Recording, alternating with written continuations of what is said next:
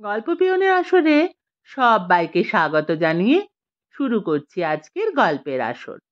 আজ শোনাব শীর্ষেন্দু মুখোপাধ্যায়ের অদ্ভুতুড়ে সিরিজ থেকে নেওয়া গল্প গজাননের কৌটো। শুরু করছি আজকের গল্প গজাননের কৌটো। আজ রইল চতুর্থ এবং অন্তিম পর্ব।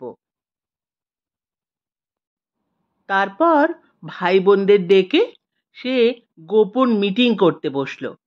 জাদুকর গজাননের কথা সব জানিয়ে এসে বলল, তোমরা যদি চাও, তাহলে আমরা সবাই মিলে জাদুকর গজাননকে বাঁচাতে পারি। কিন্তু কেউ একজনও বিশ্বাসঘাতকতা করতে পারবে না বলে দিলাম।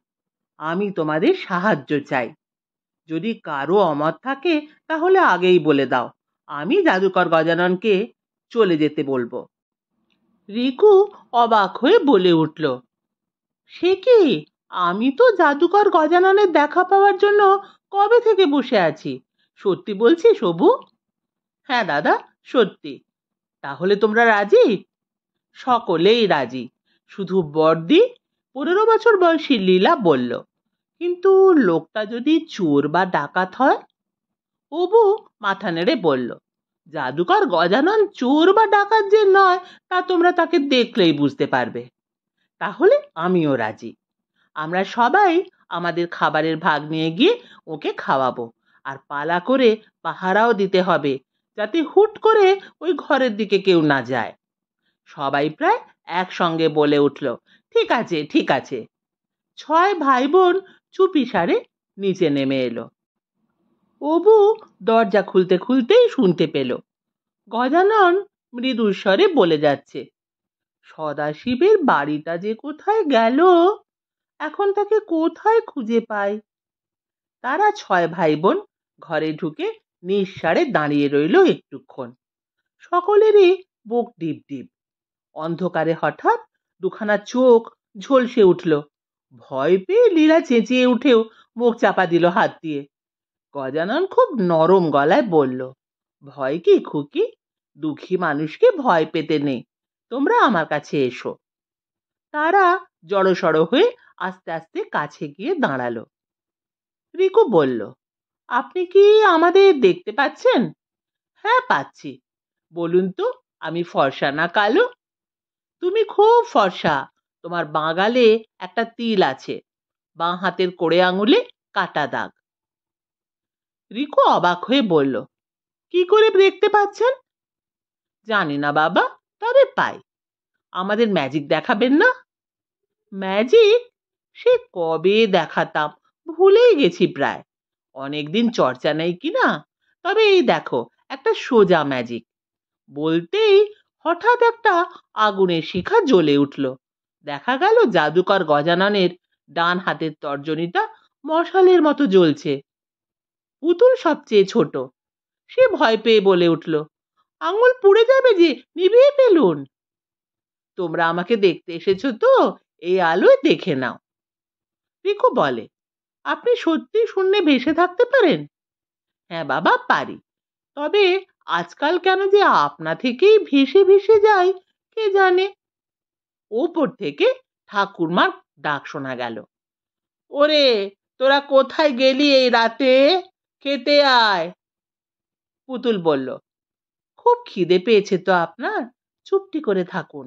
আমি একটু বাদে এসে আপনার খাবার দিয়ে যাব একটু হেসে আঙুলের আগুন নিভিয়ে ফেলে গজানন বলল, তোমরা বড্ড ভালো। রিকু বলল, আপনি চিন্তা করবেন না, এখানে কেউ খুঁজে পাবে না। ঘরে তালা লাগিয়ে সবাই ওপরে ছুটল খেতে।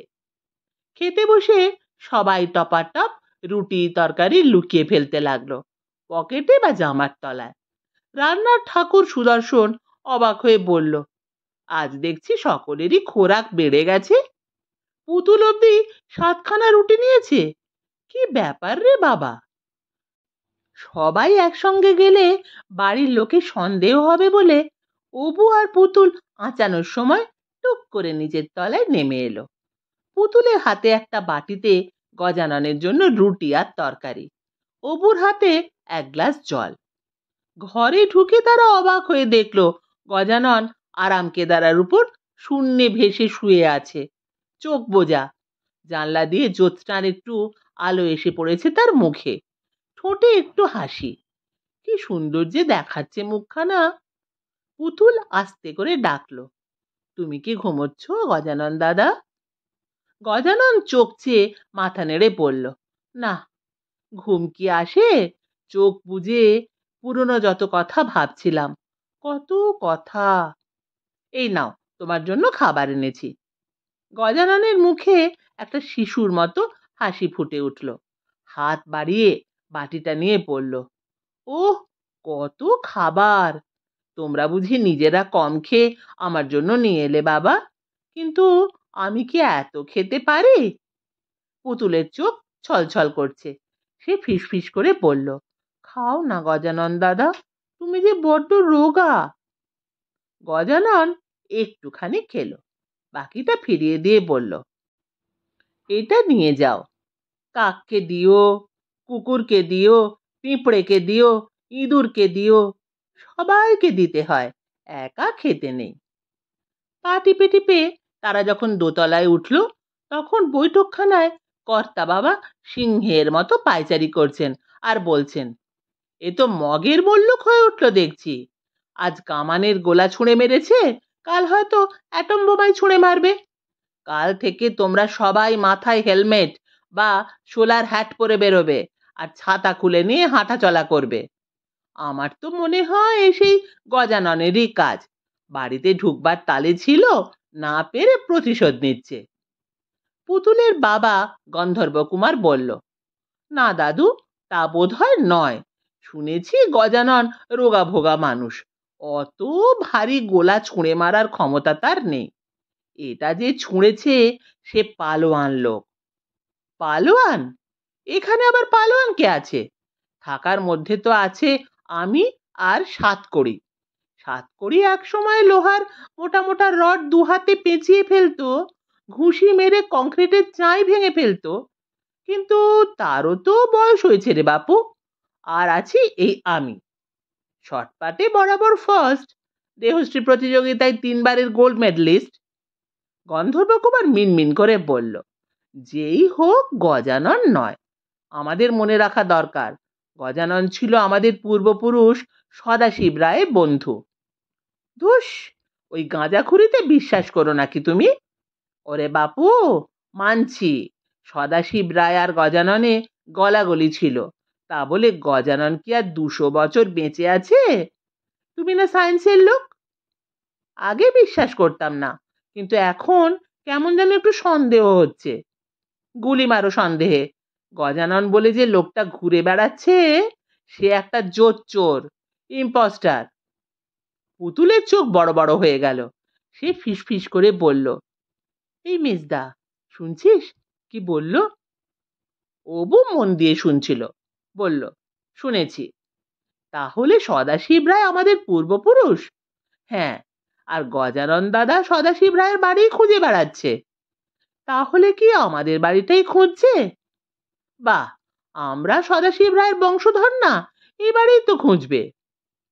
চল শেষদা খবরটা গজানন দাদাকে দিয়ে আসি। দুজনে দৌড়ে নিচে নেমে হাঁপাতে হাঁপাতে ঘরে ঢুকলো। পুতুল ডাকলো, গজানন দাদা, ও গজানন দাদা, কোথায় তুমি? সিলিং এর কাছ থেকে গজাননের জবাব এলো, এই যে বাবা আমি, নিচে বড় পিঁপড়ে কামড়াচ্ছিল বলে একটু ওপরে এসে শুয়ে আছি। তোমাকে একটা খবর দিতে এলাম, শোনো, এটাই সদাশিব রায়ের বাড়ি। হ্যাঁ বলে ধীরে ধীরে গজানন নেমে এলো। সোজা হয়ে দাঁড়াতে গিয়ে একটু হেলে দুলে গেল। হ্যাঁ গো, এই মাত্র জানতে পারলাম, সদাশিব রায় আমাদেরই পূর্বপুরুষ গজাননের সমস্ত মুখটাই এমন আলো হয়ে গেল যে অন্ধকারেও তাকে স্পষ্ট দেখা যেতে লাগল। মুখে শিশুর মতো সেই হাসি। মাথা নেড়ে বলল, এই বাড়ি? এই সদাশিবের বাড়ি? তোমরা সব সদাশিবের বংশধর? হ্যাঁ গো গজানন দাদা। আমারও সন্দেহ ছিল, এই বাড়ি হবে। রায়বাড়ি তো এখানে একটাই।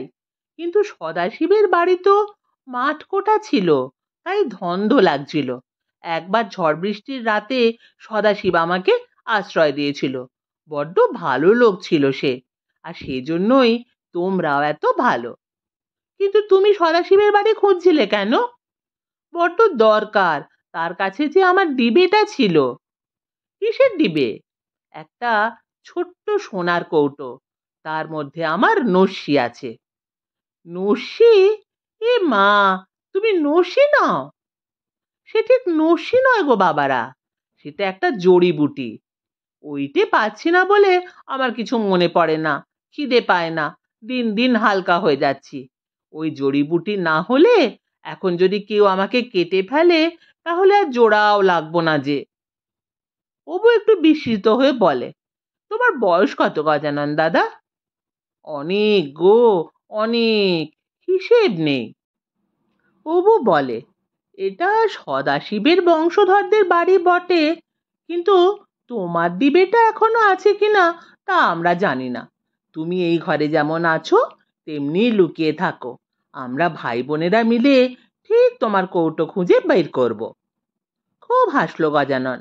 মাথা নেড়ে বলল, বড্ড ভালো হয় তাহলে। তোমরা যে বড্ড ভালো।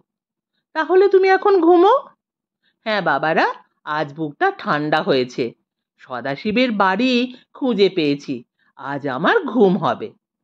দুই ভাই বোন আবার চুপিসারে ওপরে উঠে এসে চুপচাপ গিয়ে শুয়ে পড়ল।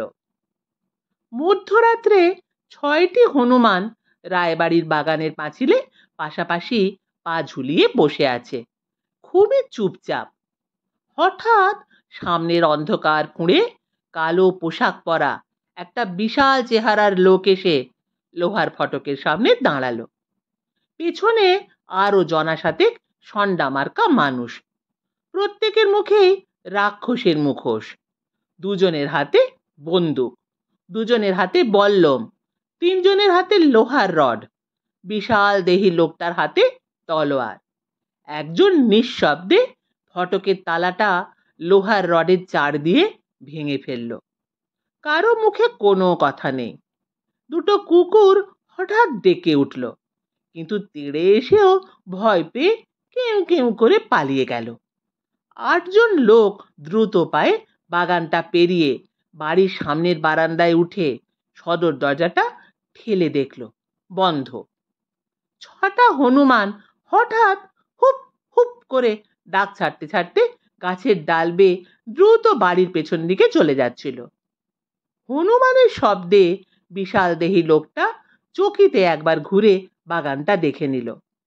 রাত্রিবেলা হনুমানের এরকম আচরণ স্বাভাবিক নয়। একজন বন্দুকধারী বলল গুলি চালাবো? না, দরজা ভাঙো। পুরনো আমলের নিরেট কাঠের মজবুত দরজা। কিন্তু বিশাল মুস্কো চেহারার দু দুটো লোকের জোড়া জোড়া লাথি পড়তে লাগল দরজায়। দুমদুম শব্দে বাড়ি কেঁপে উঠল। বাড়ির লোকজন ঘুম ভেঙে কে কে করে চেঁচাতে লাগল। হরিকৃষ্ণ রায় জানলা দিয়ে বন্দুকের নল গলিয়ে চেঁচিয়ে বললেন এই, কে রে? কার এত সাহস? গুলি করে মাথার খুলি উড়িয়ে দেব কিন্তু। কেউ কোনো জবাব দিল না। দরজাটা লাথির চোটে নড়বড় করতে লাগল। বাড়ির ভেতরে চেঁচামেচি বাড়ছে। পুরুষদের সঙ্গে বাড়ির মেয়েরা আর বাচ্চারাও চেঁচাচ্ছে। ডাকাত ডাকাত, মেরে ফেললে! দরজাটা দড়াম করে খুলে হাঁ হয়ে গেল। খোলা তলোয়ার হাতে প্রথমে বিশাল দেহি লোকটা এবং তার পিছু পিছু সাতজন সশস্ত্র লোক গট গট করে ভেতরে ঢুকলো। টর্চ ফেলে সিঁড়িটা দেখে নিয়ে সর্দার লোকটা বলল, ওপরে চলো। ওপরে সিঁড়ির মুখেই হরিকৃষ্ণ বন্দুক নিয়ে দাঁড়িয়ে। কে? কে তোমরা? খবরদার, আর এগিয়েও না বলছি। তার মুখের কথা শেষ হওয়ার আগেই সর্দার লোকটা কোমর থেকে একটা ছোড়া টেনে এনে ফলাটা দু আঙুলে ধরে বিদ্যুৎ বেগে ছুঁড়ে মারল। বাপরে! বলে বন্দুক ফেলে বসে পড়লেন হরিকৃষ্ণ। ছোড়াটা তার বাহুমূলে বিঁধে গেছে। বাবা! বাবা! বলে অঘর কৃষ্ণ হরিৎকৃষ্ণ নীলকৃষ্ণ, গন্ধর্বরা সব ছুটে এসে ধরল তাকে। লোকটা বজ্রগম্ভীর স্বরে বলল, কেউ বাধা দিও না, মরবে। গন্ধর্ব বলল, কি চান আপনারা? এ বাড়ির পুরনো জিনিসপত্র কোথায় থাকে? গন্ধর্ব ভয় খাওয়া গলায় বলে, ভাঙা আসবাবপত্র নিচের তলায়। ওসব নয়, আমরা একটা কৌটো খুঁজছি, সোনার কৌটো। কোথায় থাকে পুরনো জিনিস? অঘর কৃষ্ণ বললেন, পুরনো জিনিস কিচ্ছু নেই। সর্দার লোকটা চোখের পলকে অঘর কৃষ্ণের মুখে একটা ঘুষি মারল। অঘর কৃষ্ণ ঘুষি খেয়ে দড়াম করে পড়ে গেলেন। হরিকৃষ্ণ ক্ষতস্থান চেপে ধরে মুখ বিকৃত করে বললেন, খামোখা মারধর করছ কেন বাপু? আমাদের সিন্ধুকে কিছু পুরনো জিনিস আছে, দাঁড়াও, বের করে দেওয়া হচ্ছে। গন্ধর্ব, যাও তো, আমার বিছানা শিয়রের তোষকের তলায় চাবি আছে, নিয়ে এসো গন্ধর্ব দৌড়ে গিয়ে চাবি নিয়ে এলো। কোথায় সিন্ধু কাছে? নিয়ে চলো, চালাকি করলে মেরে ফেলব। গন্ধর্ব তাদের পুরনো দলিল দস্তাবেজের সুরক্ষিত ঘরটা খুলে দিয়ে বলল, ওই যে সিন্ধুক বজ্রগম্ভীর স্বরে লোকটা বলল, খোলো। গন্ধর্ব সিন্ধুক খুলে পুরনো ভারী পাল্লাটা টেনে তুলল। ভেতরে মূল্যবান বাসন কোষণ গয়নার বাক্স, রূপোর জিনিস, মোহর, রূপোর বাঁট লাগানো ছোড়া থরে থরে সাজানো। লোকটা একটা একটা করে জিনিস তুলে ছুঁড়ে ফেলতে লাগল ঘরের মেঝে। ছড়িয়ে গেল। মোহর, রূপোর টাকা, গয়না, আরও কত জিনিস। লোকটা হিংস্র গলায় বলল, কৌটোটা কোথায়? গন্ধর্ব মাথা নেড়ে বলে, জানি না, যা আছে এখানেই আছে। গন্ধর্বের গালে একটা বিরাশি শিক্ষার চর কষিয়ে লোকটা বলল, চালাকি হচ্ছে? গন্ধর্ব চোখে অন্ধকার দেখতে দেখতে মাথা ঘুরে পড়ে গেল। লোকটা ফিরে সকলের দিকে পর্যায়ক্রমে চেয়ে বলল, কৌটোটা এ বাড়িতেই আছে, তোমরা লুকিয়ে রেখেছ। পাঁচ মিনিট সময় দিচ্ছি। এর মধ্যে যদি কৌটো বের করে না দাও, তাহলে এক এক করে সব বাইকে কেটে ফেলব। বাড়ির সবাই, হাঁ, মেয়েরা ডুকরে কাঁদছে। বাচ্চারা ঘুম থেকে উঠে ভ্যাবাচাকা খেয়ে দাঁড়িয়ে আছে। হরিকৃষ্ণ ছোড়াটা বাহুমূল থেকে বের করেছেন। তার ক্ষতস্থানে একটা ব্যান্ডেজ বেঁধে দিচ্ছিল তার মেজ ছেলে হরিত কৃষ্ণ হরিকৃষ্ণ ব্যথায় মুখ বিকৃত করে বললেন, বাপু হে, কৌটোটা কেমন দেখতে তা বললে না হয় হদিশ দিতে পারি। ছোট্ট একটা সোনার কৌটো কারু কাজ করা, বের করো, পাঁচ মিনিটের বেশি সময় নেই। হরিকৃষ্ণের জামা কাপড় রক্তে ভেসে যাচ্ছিল। তবু তিনি সবচেয়ে কম ঘাবড়েছেন, বললেন, ও তাহলে বোধ হয় গজাননের কৌটোটার কথাই বলছো, বাপু। লোকটা একটা বাজ খাই ধমক দিয়ে বলল হ্যাঁ সেটাই, এক্ষুনি বের করো। হরিকৃষ্ণ বললেন, ওটাও সিন্ধুকেই ছিল। ভালো করে দেখো, একটা লাল শালুতে মোড়া কিছু কাগজপত্রের সঙ্গে। না, নেই, তোমরা কৌটোটা লুকিয়ে রেখেছ। হরিৎকৃষ্ণ বললেন, আমার বাবা মিথ্যে কথা বলেন না। চোপড়াও। বলে লোকটা হঠাৎ একটা লাথি মেরে হরিৎকৃষ্ণকে সাত হাত দূরে ছিটকে ফেলে দিল। সবাই আঁতকে চেঁচিয়ে উঠতেই লোকটা ধমক দিয়ে বলল, খবরদার, টু শব্দ নয়। চার মিনিট হয়ে গেছে আর এক মিনিট মাত্র সময় আছে তোমাদের হাতে। দেখতে দেখতে এক মিনিটও কেটে গেল। সর্দার তার তলোয়ারটা তুলে তার একজন সঙ্গীকে বলল, ওই বুড়ো লোকটার মুন্ডুটা নামিয়ে ধরো। প্রথমে ওকে দিয়েই শুরু করা যাক। মুগুরের মতো হাতওয়ালা একটা লোক এগিয়ে এসে হরিকৃষ্ণের মাথাটা ধরে নামিয়ে রাখল। সর্দার তলোয়ারটা তুলতেই একটা কচি গলা শোনা গেল। তোমরা এই কৌটোটা খুঁজছো? সর্দার তলোয়ার সংবরণ করে ফিরে চাইল। পুতুল এগিয়ে এসে তার কচি দুটো হাতে ধরা সোনার কৌটোটা তুলে দেখাল। সর্দার ছোঁ মেরে তার হাত থেকে কৌটোটা নিয়ে টর্চের আলো ফেলে দেখল। হ্যাঁ এই তো সেই কৌটো। কোথায় পেলে? এটা আমার পুতুলের বাক্সে ছিল। সর্দার কৌটোটার ডালা খুলে দেখল। তার মুখোশ ঢাকা মুখে হাসি ফুটলো কিনা বোঝা গেল না। তবে সে যেন একটু খুশির গলায় বলল হ্যাঁ সব ঠিক আছে। পুতুল অবাক চোখে বিশাল চেহারার মানুষটাকে ঊর্ধ্বমুখ হয়ে দেখছিল। বলল, এই কৌটোয় কি আছে? তুমি খুলে দেখনি তো? না, ডালাটা খুব শক্ত করে আটা ছিল। আমি খুলতেই পারিনি। ভালো করেছ। এতে একটা বিষ আছে। তোমরা আমাদের আর মারবে না তো? না, শুধু একটা কথা। কি কথা? গজানার নামে কাউকে তোমরা দেখেছ? কীরকম দেখতে? গোফ দাঁড়িয়ে আছে, লোকটা বাতাসে ভেসে থাকতে পারে। দেখেছ? না তো? সে কখনো যদি এই কৌটোর খোঁজে আসে, তাহলে তাকে বলো, কৌটোটা আমি নিয়ে গেছি। তুমি কে? তা তো জানি না। আমার নাম মান্ডুক তোমার মুখে মুখোশ কেন? আমাকে দেখলে সবাই ভয় পায়, তাই মুখোশ পরে থাকি। ডাকাত রাত দাঁড়াল না। সিঁড়ি দিয়ে নেমে মুহূর্তের মধ্যে হাওয়া হয়ে গেল। ওদিকে নিচের তলায় গজাননের জানলার বাইরে ছজন হনুমান জড়ো হয়েছে। তারা বিচিত্র সব শব্দে কথা বলছিল। গজানন জানলার কাছে বসে নিবিষ্ট হয়ে তাদের কথা শুনছিল। তারপর সেও কয়েকটা বিচিত্র শব্দ করল। হনুমানেরা ধীরে ধীরে চলে গেল। মাঝরাতে শাসন একটা শব্দ পেয়ে ঘুম ভেঙে উঠে বসল। রাতের কিছু চেনা শব্দ আছে। কুকুর বা শেয়ালের ডাক, বাদুর পেঁচার শব্দ, ইঁদুরের শব্দ, আরশোলার ফরফর, জীবজন্তুদের দৌড়ো দৌড়ি গাছে বাতাসের শব্দ, দূরের পেটা ঘড়ির আওয়াজ। কিন্তু এটা সেই সব চেনা শব্দ নয়। এত সূক্ষ্ম একটা খসখসে আওয়াজ যে শুনতে পাওয়ার কথাই নয়। শাসন উঠে বসে শব্দটা ফের শোনার চেষ্টা করছিল। ইন্দ্রিয়গুলি সজাগ। গায়ে হঠাৎ কেন যেন কাঁটা দিচ্ছিল তার। সেদিন কে যেন তার মাথা লক্ষ্য করে একটা কামানের গোলা ছুঁড়ে মেরেছিল। সেই আবার এলো না তো কাজটা সমাধা করতে? সে গরিব মানুষ।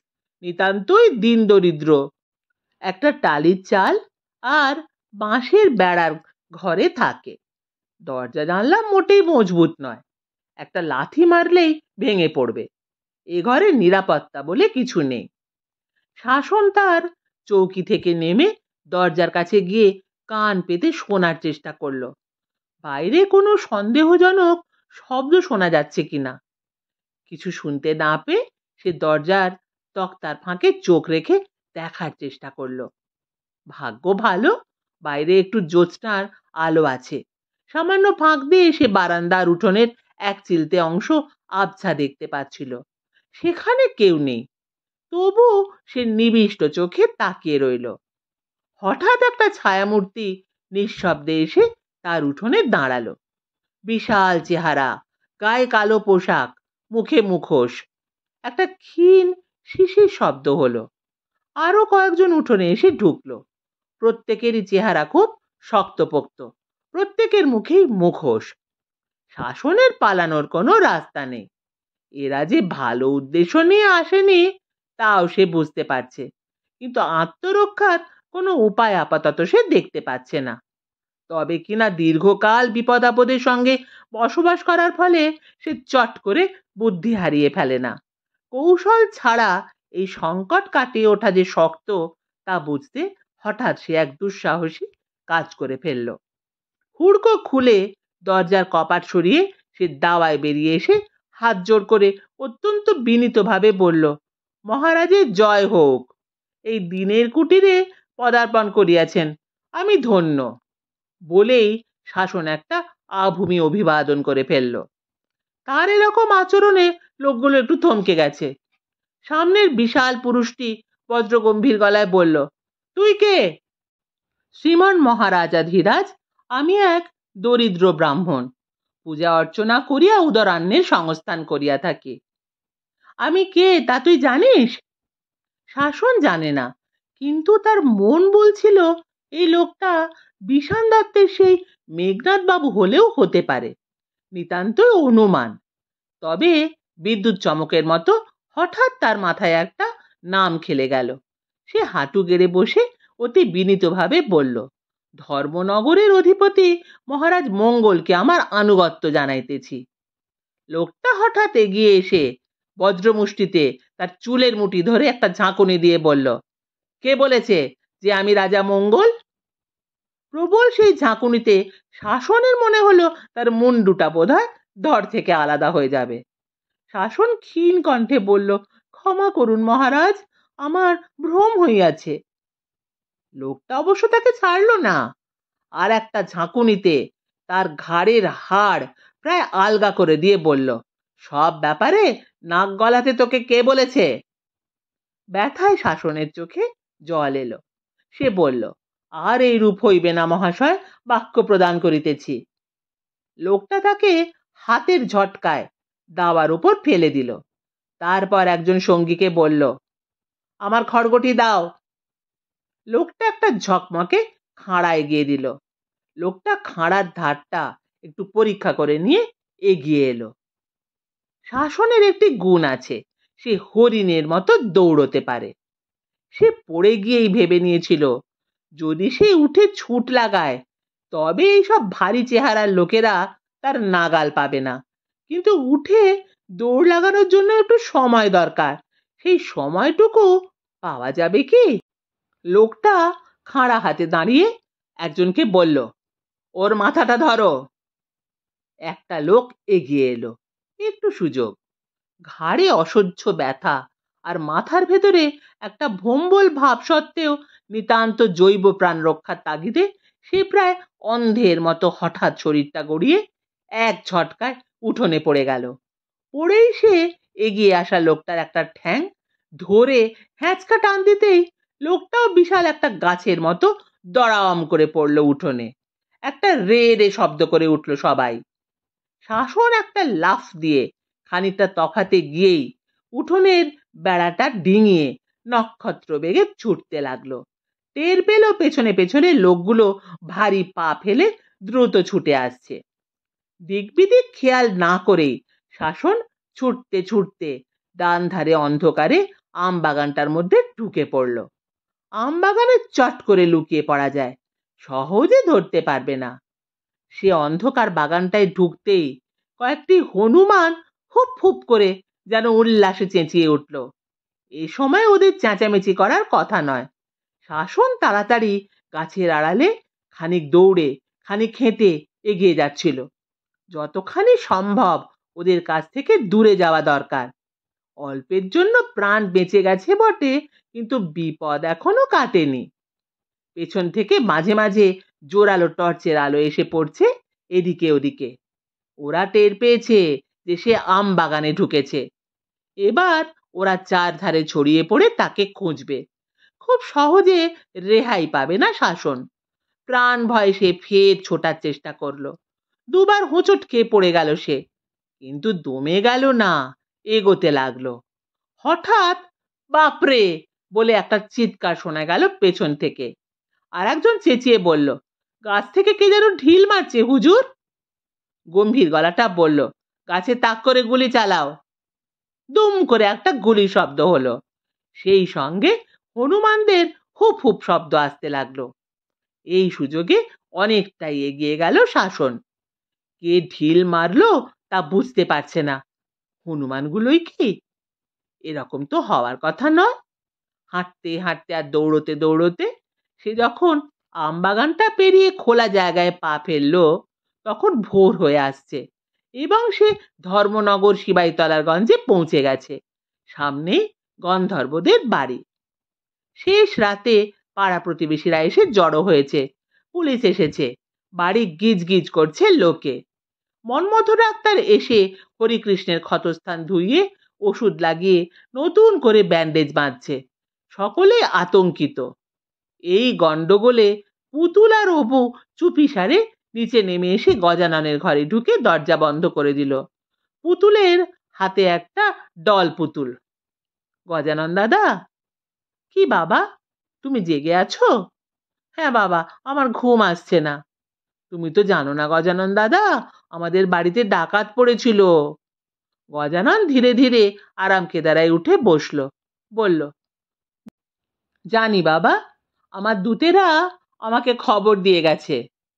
পুতুল কান্না চাপতে চাপতে বলল, কর্তা বাবাকে, দাদুকে, আমার বাবা আর জ্যাঠাকে খুব মেরেছে। কর্তা বাবাকে ছুরি মেরেছে। গলাও কাটতে যাচ্ছিল। গজানন মাথা নেড়ে বলল, হায় হায়, তোমাদের বড় বিপদ হলো তো? হ্যাঁ গজানন দাদা, আমার খুব কান্না পাচ্ছে। ওরা ভীষণ খারাপ লোক। অবু বলল, গজানন দাদা, ওরা কেন এসেছিল জানো? তোমার সেই কৌটোটা কেড়ে নিয়ে যেতে। গজানন মাথা নেড়ে বলল, হায় হায় সেটা গেলে আমার আর কিচ্ছু করার থাকবে না। আমি যে বড় দুর্বল হয়ে যাব। কৌটোটা ওরা নিয়ে গেছে গজানন দাদা। গজানন ফের ধীরে ধীরে শুয়ে পড়ল। বলল, তাহলে আমার আর কিছু করার নেই, কিচ্ছু করার নেই। অপু বলল, কেন গজানন দাদা, তোমার কি হবে? গজানন মৃদু স্বরে বলে, জানি না বাবা, আমার কৌটোটার জন্য তোমাদের কত বিপদ গেল, তোমরা কত কষ্ট পেলে। পুতুল এক পা এক পা করে কাছে গিয়ে গজাননের মাথায় হাত বুলিয়ে দিয়ে বলল, শোনো গজানন দাদা, আমরা কিন্তু বোকা নই। আমরা আন্দাজ করেছিলাম তোমার কৌটোটা আমাদের স্টোর রুমের সিন্ধুকেই আছে। কারণ পুরনো জিনিসপত্র সব ওখানেই থাকে। তাই আমি আর মেজদা মিলে বুদ্ধি করে গভীর রাতে উঠে কর্তা বাবার তোষকের তলা থেকে চাবি নিয়ে গিয়ে সিন্দুক খুলি। তোমার কৌটোটা একটা পুরনো পুঁথির সঙ্গে লাল শালুতে জড়ানো ছিল।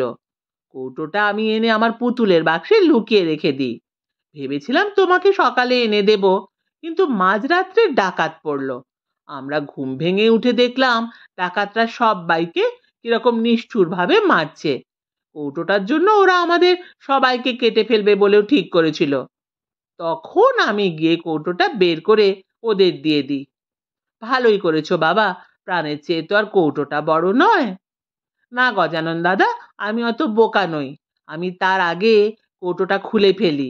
দেখি তার মধ্যে তোমার কালো নস্যির গুঁড়ো রয়েছে। আমার একটা ফাঁপা পুতুল আছে, যার মুন্ডুটা ঘোরালে খুলে যায়। ভেতরটা কৌটোর মতো। আমি পুতুলের ভেতরে গুঁড়োটা ঢেলে নিই। তারপর ঠাকুরমার কালো মাজনের খানিকটা কৌটোয় ভরে মান্ডুককে দিয়ে দিই। সে একটুও বুঝতে পারেনি। গজানন উজ্জ্বল হয়ে বলল তোমার আশ্চর্য বুদ্ধি, বাবা।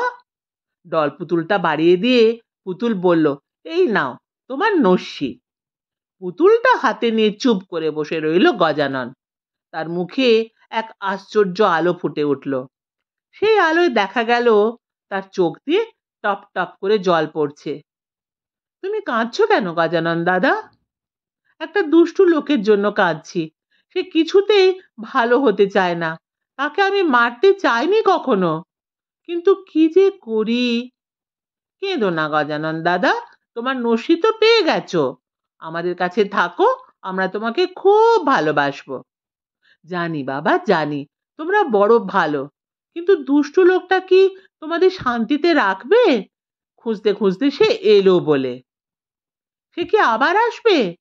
হয়তো আসবে, কে জানে কি হবে। এই দুষ্টু লোকটার নাম মান্ডুক তুমি ওকে চেনো? মাথা নেড়ে গজানন বলে, না বাবা, চিনি না। কিন্তু সে ভালো লোক নয়।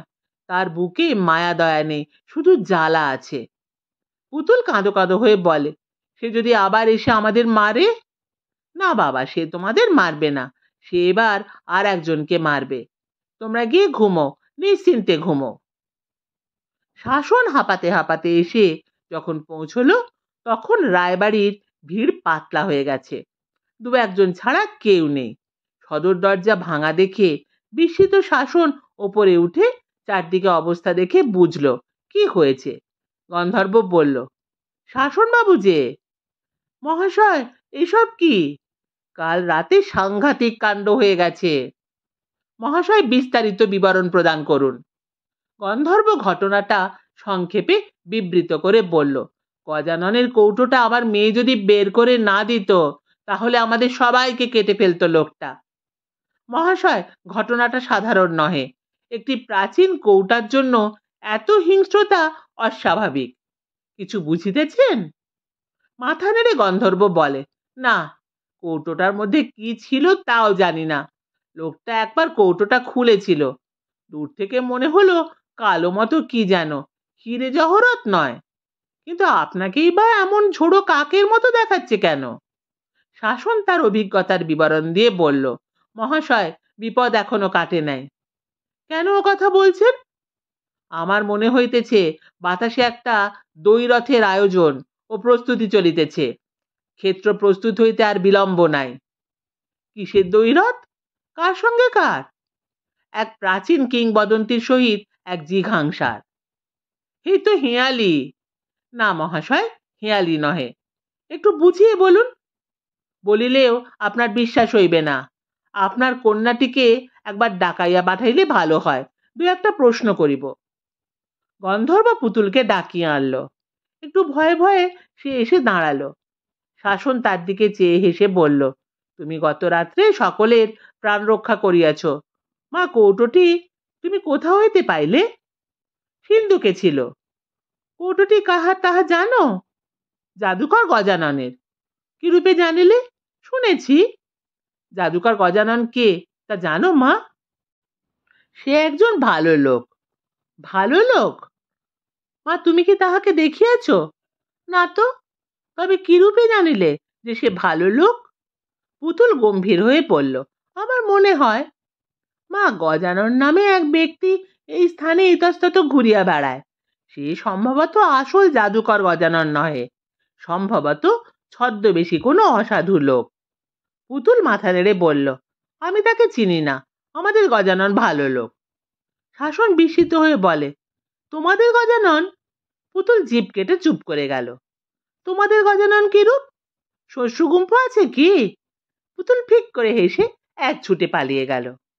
শাসন কিছুক্ষণ চিন্তিত মুখে বসে রইল। গন্ধর্ব বলল, কি বুঝলেন? একটা দীর্ঘশ্বাস ফেলে শাসন বলল, মহাশয়, যাহা বলিতেছি, তাহা মনোযোগ দিয়া শ্রবণ করুন। বলুন, শুনছি। আমার অনুমান পুতুল গজাননের সন্ধান জানে। সম্ভবত এই বাড়ির শিশু, বালক বালিকারা সকলেই জানে, কিন্তু তাহারা কিছুতেই গজাননের সন্ধান আমাদিগকে দিবে না। মহাশয়, আপনারা দয়া করিয়া প্রাপ্তবয়স্করা উহাদের উপর চাপ দিয়া কোনো কথা আদায় করিবার চেষ্টা করিবেন না। শুধু চতুর্দিকে নজর রাখিবেন। গন্ধর্ব বলল, গজাননকে ওরা কোথায় পেল? আমরা তো তার দেখা পাচ্ছি না। এমনও হওয়া বিচিত্র নহে, এই বাড়ির কোনো চোর কুঠুরিতেই সে এখন অবস্থান করিতেছে। কিন্তু মহাশয়, তাহাকে না উত্তেজিত করাই মঙ্গল। শিশুরাই তাহার সহিত যোগাযোগ রক্ষা করুক। বলছেন কি মশাই যদি সে কোনো চোর হয়? মাথা নেড়ে শাসন বলল, না মহাশয়, আমার ষষ্ঠ ইন্দ্রিয় কহিতেছে, আপনার শিশুকন্যা ভুল করে নাই। আপনি কি বলতে চান, এই গজাননই সেই গজানন? লোকটা দুশো বছর বেঁচে আছে? মহাশয়, যাহা ঘটে, তাহা বিশ্বাস না করিবেন কেন? আমার বিশ্বাস হচ্ছে না। তাহা হইলেও কোনো অবিমৃষ্যকারিতা করিবেন না। মনে রাখিবেন মান্ডুক এক ভয়ানক ব্যক্তি। তাহার হাত হইতে আমাদের নিস্তার নাই, কারণ সে গজাননকে না পাওয়া পর্যন্ত শান্ত হইবে না। সম্ভবত মান্ডুকি মেঘনাথ বাবু। যদি তাহার হাত হইতে রক্ষা পাইতে চান, তাহা হইলে গজাননই একমাত্র ভরসা, কথাটা মনে রাখিবেন। আপনি তো চিন্তায় ফেলে দিলেন মশাই। চিন্তা উদ্বেগেরই বিষয়। শাসনবাবু, আজ্ঞা করুন। আমি বলি আপনার এখন নিজের বাড়িতে থাকাটা নিরাপদ নয়। কাল আপনার বাড়িতে হামলা হয়েছে। আপনি বরং দু একদিন আমাদের বাড়িতে থাকুন। আমাদের ঘরের অভাব নেই। শাসন একটু হাসল। প্রস্তাবটি উত্তম। আমি দরিদ্র ব্রাহ্মণ। অতিথি হইতে বিশেষ আপত্তি নাই। প্রস্তাবটি গ্রহণ করিলাম। শাসনকে নিচের তলার বৈঠকখানায় থাকতে দেওয়া হলো। দুপুরে খাবার পর সে বাগানটা দেখতে বেরোলো। সঙ্গে গন্ধর্ব। পেছনের পাঁচিলের কাছে এসে গন্ধর্ব বলল, পাঁচিলের ওই জায়গায় নাকি গজানান উঠে বসেছিল। আমার বাবা দেখেছে। এই সুউচ্চ প্রাচীর, তাহাতে আবার লৌহ শলাকা ও কাঁচ প্রতীত। ইহার উপর কোনো স্বাভাবিক মানুষের উপবেশন অসম্ভব। মহাশয় লেভিটেশন বলিয়া একটা কথা আছে। জানি, ওসব গাঁজাখুরি। প্রাচীনকালে সাধকরা বায়ুবন্ধন করিয়া শূন্যে কিছুদূর উত্থিত হইতে পারিতেন বলিয়া শোনা যায়। কত বিদ্যার চর্চায় অভাবে বিনষ্ট হইয়াছে, ওসব বিশ্বাসযোগ্য নয়। শাসন একটা দীর্ঘশ্বাস ফেলে বলল, আজিকালি কেহই কোনো কথা বিশ্বাস করিতে চাহে না। খুব ভোর রাত্রে শাসন চুপি চুপি উঠল। সদর দরজার নিঃশব্দে খুলে বাইরে বেরিয়ে এলো। তারপর ধীর পায়ে বাড়িটি পরিক্রমা করতে লাগল। চোখে সেন দৃষ্টি। সে প্রত্যেকটা জানলা লক্ষ্য করতে করতে এগোচ্ছিল। যদি কোনো আভাস পাওয়া যায়। আচমকা একটা খোলা জানলার পাশে থমকে দাঁড়ায় সে। নিচের তলায় কেউ থাকে না বলে সব জানলাই বন্ধ। শুধু একটাই খোলা। কাছে গিয়ে সন্তর্পণে ভেতরে উঁকি দিল শাসন। প্রথমে অন্ধকারে কিছুই দেখা গেল না। তারপর অন্ধকারটা চোখে একটু সয়ে যাওয়ার পর সে লক্ষ্য করল ঘরের ভেতরে একটা আরাম কেদারা তার ওপর সামান্য উচ্চতায় শূন্যে ভেসে একজন শুয়ে আছে। চমৎকৃত শাসন কিছুক্ষণ নড়তে পারল না। তারপর হঠাৎ তার দু চোখ ভরে জল এলো। সে বিড়বিড় করে বলল, আমার প্রণাম গ্রহণ করুন হে জাদুকর। আমরা সামান্য মানুষ। আপনার মর্ম কি বুঝিব? হঠাৎ কয়েকটা হনুমান হুপ হুপ করে গাছে গাছে লাভ ঝাঁপ করতে লাগল। চমকে উঠে শাসন যেই পেছন ফিরতে যাবে, অমনি একটা ভারী শক্তিমান হাত তার ডান কাঁধের ওপর এসে পড়ল। একটা চাপা হিংস্র গলা বলল, এবার কে তোকে বাঁচাবে? শাসন ফিরেই রাক্ষসের মুখটা দেখতে পেল। শাসনের কেন যেন একটুও ভয় হলো না। সে পিছু ফিরে লোকটার মুখোমুখি হয়ে চোখের জল হাত দিয়ে মুছে একটু হেসে বলল, আপনি মেঘনাথ বাবু? মান্ডুক? লোকটা মুখোশের আড়াল থেকে তাকে দেখছিল, বলল, তাতে তোর কি দরকার? মহাশয়, যেই হন, আপনি মন্দ লোক। মন্দ লোকেরা তাহাদের কার্যের জন্য শাস্তি ভোগ করিবেই। আপনারও রক্ষা নাই মহাশয়। সময় থাকিতে এখনও সতর্ক হন। জিঘাংসা পরিহার করুন। হনুমানগুলো প্রচণ্ড শব্দ করতে লাগল। কয়েকটা ঢিল এসে পড়ল তাদের আশপাশে। বিশাল দেহি লোকটা হয়তো শাসনকে ছিঁড়ে ফেলতো, কিন্তু হঠাৎ জানলার দিকে চেয়ে সে স্থির হয়ে গেল। শাসন ফিরে তাকিয়ে দেখল, জাদুকর গজানন জানলা এসে দাঁড়িয়েছে। মুখটা যেন আলো জ্বলছে। বিড়বিড় করে গজানন বলছে, সেই মুখ সেই চোখ, সেই আকৃতি, রাজা মঙ্গলের মতো, হুবহু। কিন্তু তা কি করে হবে? কি করে হবে? লোকটা একটা বিশাল রণহুঙ্কার দিয়ে উঠল। তারপর বজ্রগম্ভীর স্বরে বলল, জাদুকর গজানন! ভোরের আলো ফুটি ফুটি করছে, কাক ডাকছে, পাখিরা উড়াল দেওয়ার মুখে। হনুমানদের তীব্র চিৎকারে চারদিক মথিত হতে লাগল। মান্ডুক বা মেঘনাথ ফের রণহুঙ্কার দিয়ে বলল, জাদুকর গজানন, এইবার ঋণ শোধ করো, বহুকাল ধরে অপেক্ষায় আছি দুটো প্রবল হাতের টানে জানলাটা ফ্রেম থেকে উপড়ে এনে ফেলে দিল মান্ডুক। কোষবদ্ধ তলোয়ার বের করে ফের বজ্র নির্ঘোষে বলল, এসো কাপুরুষ! বাড়ির লোকেরা জেগে দ্রুত নেমে আসছে। ঘুম ভেঙে লোকজন ছুটে আসছে চারদিক থেকে। কাল রায়বাড়িতে ডাকাত পড়ায় তারা সতর্কই ছিল। জানলা দিয়ে ধীরে বেরিয়ে এলো গজানন। ভেসে ভেসে এলো। এসে দাঁড়াল মান্ডুকের সামনে। ডান হাতটা তুলে সে বিড়বিড় করে বলল, না, তুমি মঙ্গল নও। আমি তার বংশধর। রাজা মঙ্গলের ঋণ শোধ নেওয়ার জন্যই আমি জন্মেছি। আমি মান্ডুক। হতাশায় ভরা মুখে গজানন বলল, দুই এক, আমার আর ইয় জীবনে শান্তি হলো না। মান্ডুক তার তলোয়ারটা তুলে আড়াআড়ি বিদ্যুতের গতিতে চালিয়ে দিল গজাননের গলায়। গজানন শুধু মাথা নাড়ল। তার গলার ভেতর দিয়ে তলোয়ার চলে গেল বটে, কিন্তু কিছুই হলো না। বিস্মিত মান্ডুক ক্ষণেক বিস্ফারিত চোখে চেয়ে থেকে বিদ্যুৎ গতিতে গজাননকে খণ্ড খণ্ড করে দিতে তলোয়ার চালাতে লাগল। কিন্তু কিছুই হলো না। এবার তলোয়ার ফেলে মান্ডুক লাফিয়ে পড়ল গজাননের উপর। গলা টিপে ধরল। গজানন চুপ করে দাঁড়িয়ে থাকল শুধু। বিস্মিত মান্ডুক তার চোখ উপড়ে নেওয়ার জন্য চোখে আঙুল ঢুকিয়ে দিল। মুগুরের মতো দুই হাতে অজস্র ঘুষি মারল। চারদিকে লোক প্রথমে ভয়ে চিৎকার করছিল। কিন্তু তারাও বিস্ময় চুপ হয়ে গেছে। মান্ডু খাপাচ্ছে, তার চোখ বড় বড়। রাগে তার মুখ দিয়ে ফেনা বেরোচ্ছে। মরো, গজানন মরো। গজানন শান্ত কণ্ঠে বলে, আমার কি মরণ আছে? তোমাকে মরতেই হবে।